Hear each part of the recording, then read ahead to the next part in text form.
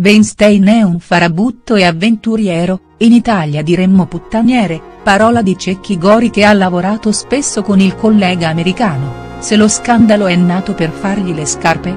Forse anche perché il cinema è una grande industria e magari questa vicenda va trattata con un'ottica differente e meno.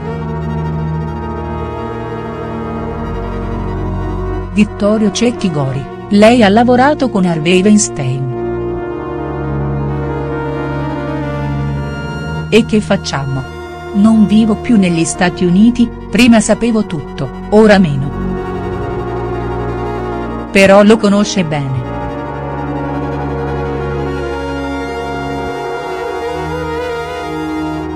Sì, ma non lo vedo da un paio di anni.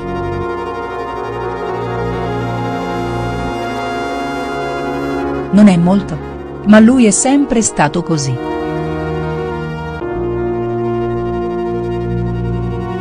Così, come?.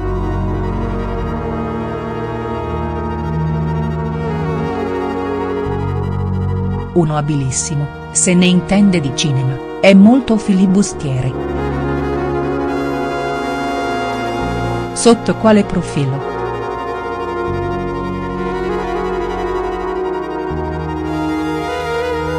Rispetto agli affari.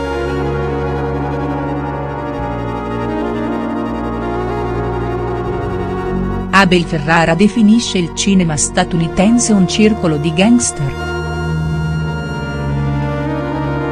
È una tradizione dell'America, non solo del cinema. La storia delle mele marce racconta che le altre del cestino vengono bacate. Sono abili. Chi? Questi filibustieri. Il problema è che la loro abilità viene usata per le magagne, le prepotenze. Una persona per ben non si mette a inseguire una donna.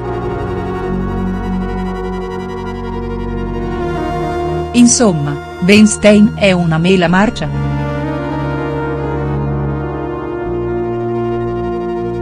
Un avventuriero. E rispetto alle donne?.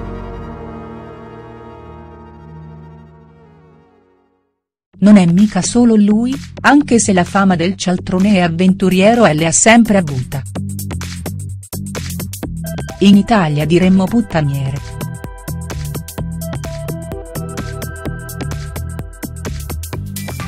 Weinstein in Italia.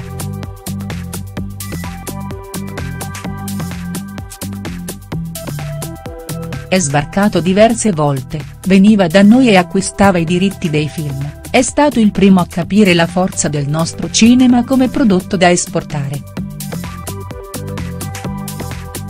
E in quel caso l'ho conosciuto, grazie a delle coproduzioni.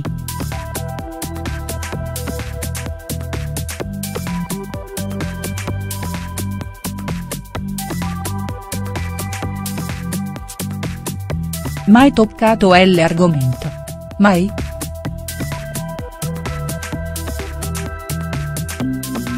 No, però mi sono accorto del suo essere un fanfarone e bugiardo. Pure scorretto, e due o tre volte l'ho pizzicato in situazioni concrete. Ci pensa un attimo, ribadisco, non è l'unico avventuriero nel mondo del cinema. Secondo alcuni questo scandalo è solo un modo per fargli le scarpe.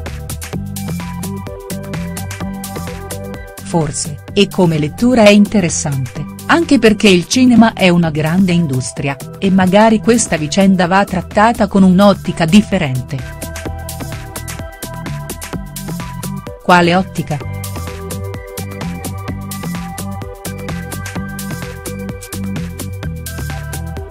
In questo intreccio di grandi capitali è mutato il mercato finanziario, ci sono differenti sbocchi e piattaforme, e secondo me una natura affaristica non va esclusa, gestita da persone senza scrupoli.